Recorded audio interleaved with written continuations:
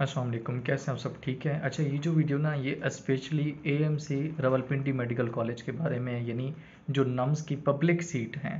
क्योंकि बहुत सारे बच्चों का सवाल था कि जो, यानी अगर हम नम्स के ज़रिए उसके पब्लिक मेडिकल कॉलेज में, जो कि सिर्फ़ एक ही कॉलेज है ए एम सी रवलपिंडी उसमें जाना चाहते हैं तो उसकी कितनी सीट होते हैं कि भाई हम डिफरेंट प्रोविंस से हैं, हम कैसे उसमें अप्लाई करेंगे, क्या करेंगे, उसकी फ़ीस कितनी होती है सीटें कितनी होती हैं?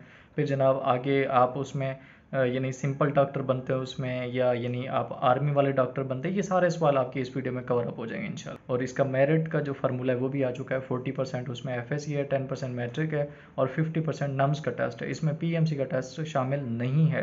तो आप ये मेरिट फार्मूला कैलकुलेट कर लें। पंद्रह दिन तक नम्स ने एक पोर्टल ओपन करना है, जहाँ पे आपने कॉलेज सेलेक्ट करने हैं। ना सिलेक्शन करने वाली गलती नहीं करनी। तो आइए मैं भी आपको बताता हूँ ए एम सी रावलपिंडी के बारे में, उसकी सारी डिटेल ए टू जी और अगर वीडियो अच्छी लगे तो मेरे चैनल को सब्सक्राइब कर लें। एक लाइक एक लाइक तो बनता है नम्स का गवर्नमेंट का मेडिकल कॉलेज है, यानी ए एम सी रावलपिंडी इसमें इनरोल होने के टोटल हैं चार तरीके हमारे पास।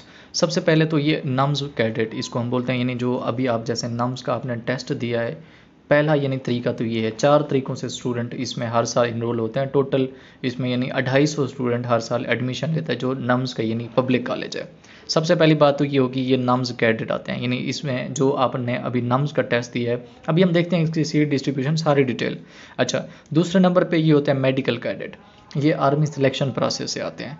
तीसरे नंबर से हमारे पास कुछ होते हैं पेइंग या एडिशनल पेइंग कैडेट ये भी नम्स के टेस्ट से आते हैं, लेकिन इनका कैटेगरी अलग है। चौथे नंबर पे हमारे पास होते हैं ये फारा स्टूडेंट और ये सैड सब्जेक्ट एक टेस्ट होता है, वो देकर आते हैं। अच्छा ये तो हो गई यानी चार कैटेगरी, जिन कैटेगरी से स्टूडेंट आते हैं।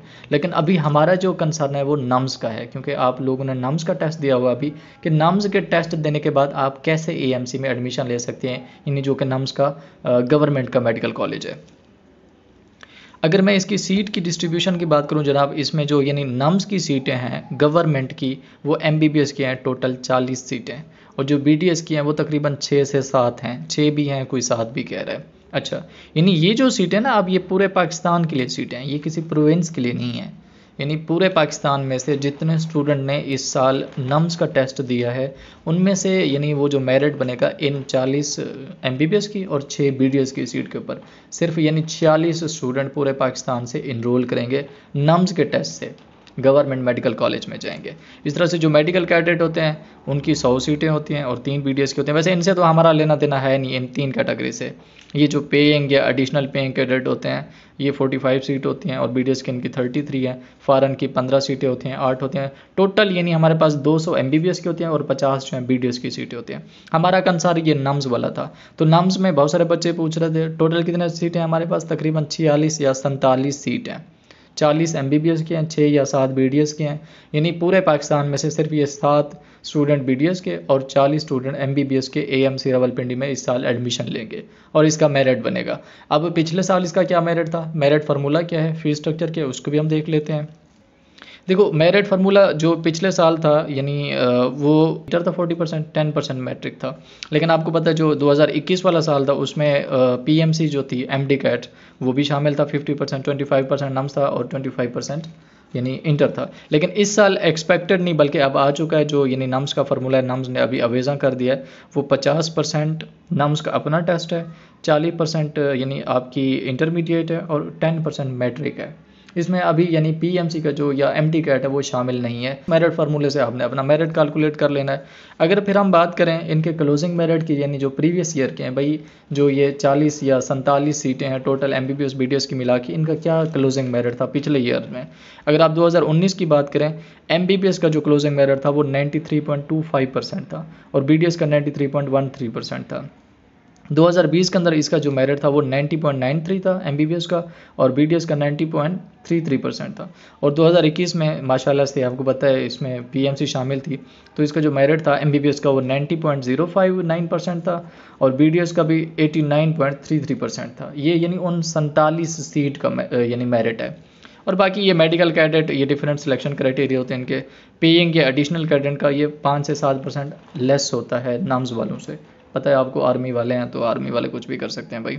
फॉरन स्टूडेंट का भी कम होता है। खैर, इनसे तो हमारा कंसर्न ही नहीं हमारा कंसर्न तो अभी किससे नम्स कैडेट से अच्छा ये तो था इनका क्लोजिंग बैड अगर हम फ़ीस स्ट्रक्चर की बात करें, ये जो एएमसी वाले होते हैं, यानी जो ए रावलपिंडी में जाते हैं, उनकी जो फ़ीस होती है, वो दो लाख बीस हज़ार होती है।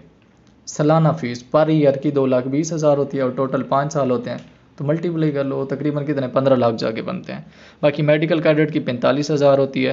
पेइंग या एडिशनल पेइंग की भी दो लाख होती है। और फॉरन वालों की तकरीबन बारह सौ यू डॉलर होते हैं। इनका इसके बाद जो है कि भाई, हमने अप्लाई कैसे करना है, वो मैं आपको पहले अपनी वीडियो में बता चुका हूँ कि अभी 10 से 15 दिन के बाद नम्स का पोर्टल ओपन होगा, जहाँ पे आपने कॉलेज प्रेफरेंस देनी होगी, यानी कॉलेज को सिलेक्ट करना होगा डिफरेंट कॉलेज को, जहाँ जहाँ भी आपका मेरिट बन रहा है। आपने गवर्नमेंट वाला कॉलेज एक है, वो भी सिलेक्ट कर लेना है, और उसके साथ BDS वाला भी वही है।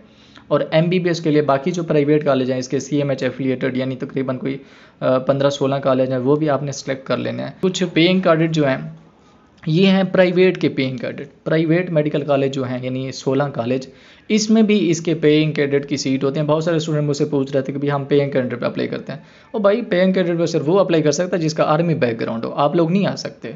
जैसे आप मेरे कॉलेज के अंदर हाई टैक में तकरीबन पंद्रह सीटें हैं। यानी जो पेइंग कैडेट की और उनकी फ़ीस काफ़ी कम होती है, हमसे। हमारी जैसे सपोज़ फ़ीस दस लाख है तो उनकी काफ़ी कम होगी। वैसे मैंने किसी से पूछा नहीं है कभी कि कितनी फ़ीस है, लेकिन होती कम है। लेकिन आ इसके ऊपर सिर्फ़ वही स्टूडेंट आ सकते हैं जो, यानी फैमिली जिनकी हो, जो वो बैकग्राउंड जो है उनका, वो कहाँ से होना चाहिए? आर्मी से। इसमें एक और जो सबसे बड़ा सवाल होता है कि भाई इसमें कौन सा जो है वो, यानी आर्मी ऑफिसर बनता है? तो जनाब ये जो नम्स वाले हैं ना, हमारे दोस्त, ये सिंपल डॉक्टर होते हैं। इनका कोई लेना देना नहीं होता हाँ। अलबत्त ये वर्दी पहनते हैं वहाँ पे। इनको पढ़ाने वाले भी फौजी अफसर होते हैं, यानी हाजिर सर्विस।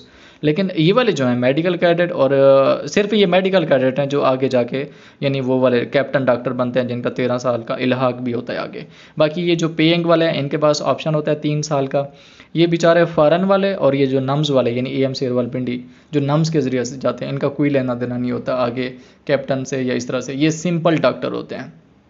पहाड़ी ये बेशक आर्मी के अंदर होते हैं, लेकिन होते क्या हैं? ये सिंपल डॉक्टर होते हैं, हमारी तरह, यानी जो हम नाम्स प्राइवेट मेडिकल कॉलेज में हैं या बाकी जो यूएचएस मेडिकल कॉलेज बने हैं, इनको हाँ अलबत्त आगे ऑप्शन होता है, आर्मी में ये जा सकते हैं, वो टेस्ट होता है, वो तो कोई भी देकर टेस्ट देकर पास हो सकता है उसमें, आर्मी में जा सकता है, इनका कोई लेना देना नहीं होता। तो मेरे ख्याल में ये ए से रिलेटेड आपको इन्फॉर्मेशन काफ़ी हद तक अब क्लियर हो चुकी होगी। फिर भी अगर आपका कोई सवाल है तो आप मुझसे इंस्टाग्राम के ऊपर पूछ सकते हैं व्हाट्सएप के ऊपर मैं कोई रिप्लाई नहीं दूँगा। और अगर आप वीडियो अच्छी लगे तो दूसरों के साथ भी शेयर करें और चैनल को सब्सक्राइब करना मत भूलें। Thank you so much